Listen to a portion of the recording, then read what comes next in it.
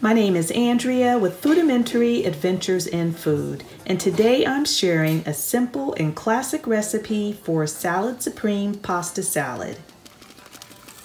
While the noodles are boiling, let's get started prepping our veggies.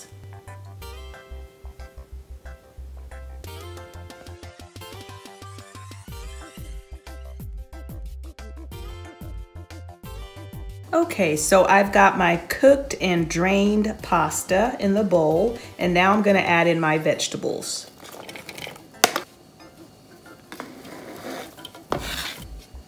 I'm gonna combine this just a little bit.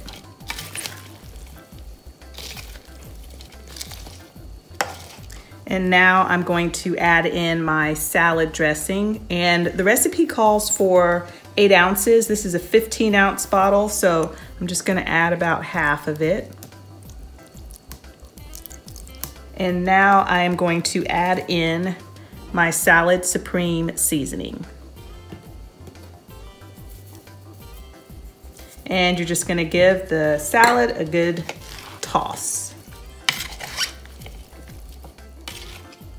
Okay, so this is all there is to the salad. This salad is best made the day before. Let it sit in the refrigerator overnight to let those flavors come together. And then before you serve it, make sure to give it a good stir. And you're probably gonna wanna add a little bit more salad dressing and salad supreme to it right before you serve it and, get a, and give it a good stir.